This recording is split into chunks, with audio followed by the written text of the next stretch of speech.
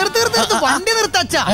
അച്ഛ അർജന്റായിട്ട് ഒരു അന്ത്യകൂതാശ നടത്തണം. അതിലും വലിയ അർജന്റായിട്ടുള്ള കാര്യത്തിന് പോവാണ് കുഞ്ഞാടാ ഞാൻ. നമ്മുടെ അടക്കാൻ പറ്റൂ തൊറോത ചേട്ടത്തി. അങ്ങനെ അടി തെറ്റി വീണു. അയ്യോ അച്ഛൻ വണ്ടി അങ്ങോട്ട് വിടും. ഓ.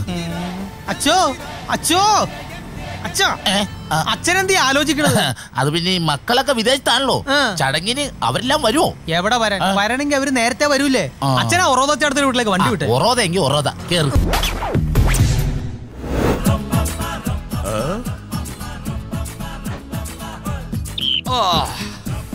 യെസ് ദിസ് ഇസ് ബുൾബുൾ നോ നോ ഇത് ബുൾബുൾ അല്ല ഇത് അവൻ തന്നെ.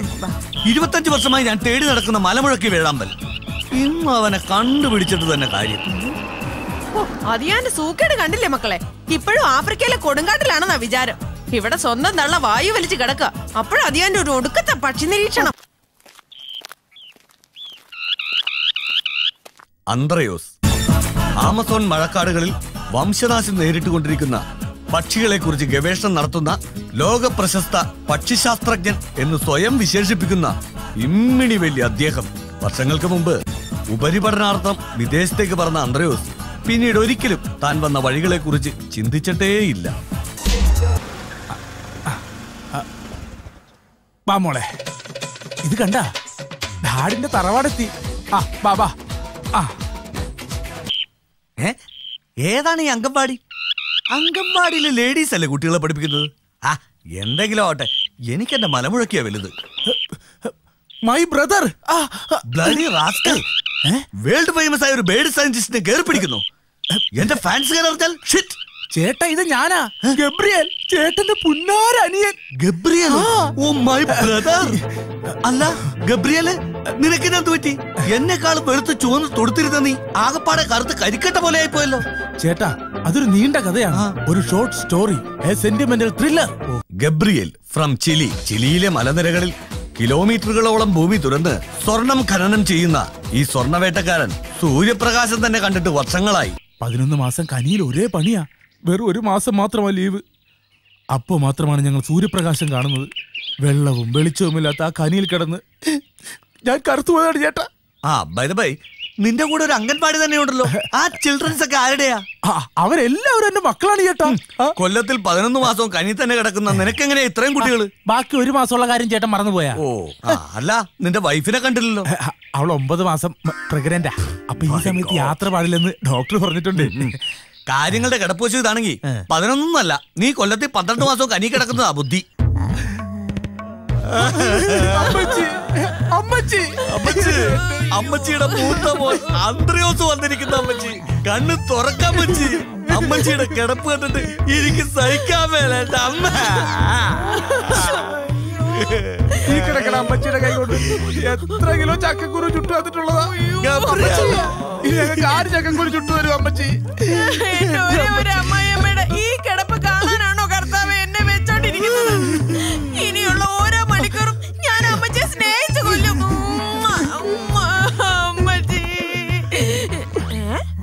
അമ്മച്ചി നോക്കാൻ വന്നിട്ട് മൊത്തം തിന്നു തീർക്കും അല്ലേടി? സൈലൻസ് പ്ലീസ് ഈ കിടക്കുന്ന പ്രോപ്പർട്ടിയുടെ പൂർണ ഉത്തരവാദിത്വം ഡോക്ടർ എന്നെ ഏൽപ്പിച്ചിരിക്കുന്നത് അതുകൊണ്ട് എല്ലാരും പുറത്തു പോണം. അയ്യോ ഇത് ഞങ്ങളുടെ പെറ്റമ്മച്ചിയാ ഈ കിടക്കുന്ന അമ്മച്ചിയുടെ മക്കളാ ഞങ്ങൾ. മക്കളാലും ശരി മരുമക്കളാലും ശരി. പുറത്തോണം പുറത്തു പോണം.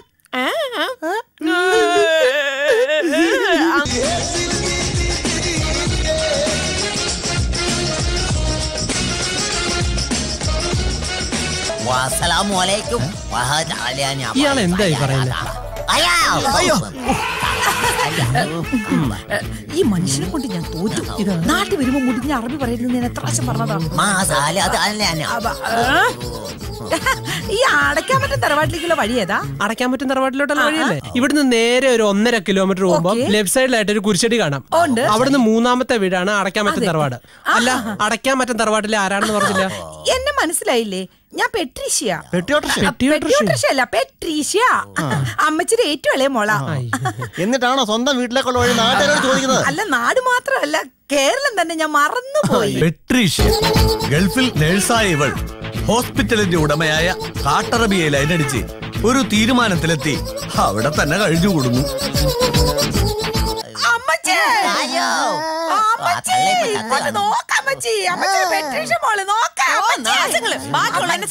സീരിയൽ കാണാൻ പോലും സമ്മതിക്കത്തില്ല. ഒന്ന് മിണ്ടാതിരിക്കടി.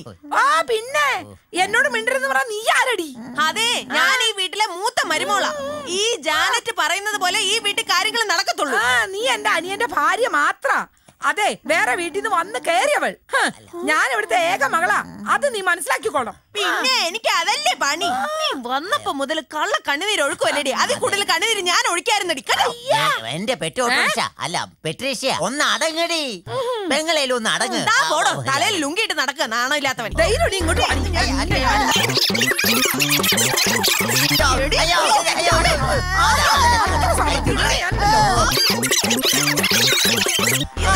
മാറ് നീ മാറ് കിടക്കണല്ലേ അങ്ങോട്ട്. ഞാനിന്ന് ശരിയാക്കിയിട്ട് ബാക്കി ഇവനൊന്ന് ശരിയാക്കട്ടെ അവൾ വന്നേക്കുവാ തലോടെ കൊണ്ട് പിന്നെ ഞാൻ നിന്നെ കൊല്ലുടി രാത്രി പന്ത്രണ്ട് മണി ഡ്രാക്കുള കാപ്പ് കുടിക്കാനായിട്ട് പുറത്തേക്ക് ഇറങ്ങിയ സമയം അനുരാഗിണി ഇതായൻ കരളിൽ വിരിഞ്ഞ പൂക്കൾ.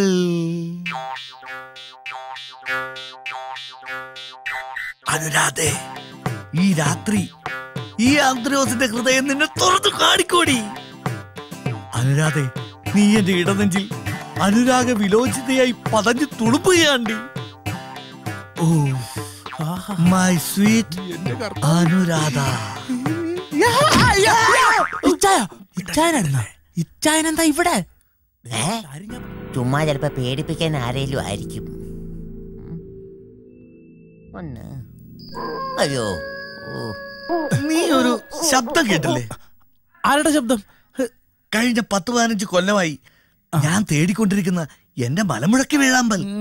ദേ ഹിൽസ് ഓൺ ബേർഡ്സ് പിന്നെ ഹോം നേഴ്സിന്റെ മുറിയിലല്ലേ മലമുഴക്കി വേഴാമ്പൽ? എടാ ഞങ്ങൾ പക്ഷി നിരീക്ഷകർക്ക് ആരുടെ മുറി എന്നൊരു പ്രശ്നമല്ല. ലക്ഷ്യമാണ് ഞങ്ങളുടെ പ്രധാനം. അല്ല നീ എന്താ ഇവിടെ? കിടന്നപ്പോ ഒരു ഒരു- കമ്പനം ഒരു ഒരു എനർജി. ഇവിടെ ഖനനം ചെയ്താൽ സ്വർണം കാണുമെന്ന ഒരു ഇന്റിമേഷൻ ഏത്? സിക്സ് സെൻസ് ആ? പിന്നെ ഈ നട്ടപ്പാതിരക്കല്ലേ നിന്റെ ഒരു സിക്സ് സെൻസ് എന്തായാലും ഇതിന്റെ പിന്നിലെ നിഗൂഢത എന്താണെന്നൊന്ന് അറിയാം. ട്രാക്കുള്ള തൽക്കാലം ഇവിടെ അവിടെ എന്താണെന്ന് നോക്കട്ടെ? പോയി കിടന്ന് ഉറങ്ങാൻ നോക്കടാ. എന്തോ ഒരു ശബ്ദം കേൾക്കുന്നു. അയ്യോ. ആരെങ്കിലും വരുന്നതായിരിക്കോ? ആർക്കോ ആർക്കോ അച്ചായോ? ഏതായാലും ഈ കാട്ടറബിയുടെ തനി സ്വഭാവം നമുക്ക് ഇപ്പൊ കാണാം. അതെ അതെ. കാത്തിരുന്ന് കാണാം. മിണ്ടാതിരി. അമ്പട കാട്ടറബി നമ്മുടെ ഹോം നേഴ്സിന്റെ മുറിയിലല്ലേ അവൻ മുട്ടുന്നത്? അവൻ ആൾ വില്ലനാണല്ലോ. നമുക്ക് അവിടെ? എന്താ എന്താ എന്താ എന്താ? എന്താ പ്രശ്നം എന്താ? ഏ? ഒന്നുമില്ല ഒരു പോലെ. എന്താ എന്താ അവിടെ പ്രശ്നം ഭർത്താവ് ഈ ഹോം നേഴ്സിനെ പീഡിപ്പിക്കാൻ ശ്രമിച്ചു ജീവിച്ചിരിക്കുമ്പോ ഇവളെ പീഡിപ്പിക്കാൻ ശ്രമിച്ചു അല്ലേ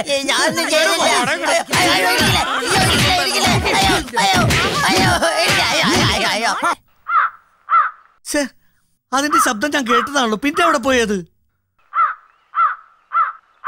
എടാ മലമുഴക്കി നിന്നെ ഞാൻ ഇവിടുന്ന് പോകുന്നതിന് മുമ്പ് പൊക്കിയിരിക്കും. പിന്നെ ഞാനെന്തിനാ ഒരു ശാസ്ത്രജ്ഞനായിട്ട് ഇങ്ങനെ നടക്കുന്നത്? നടന്നത് തന്നെ.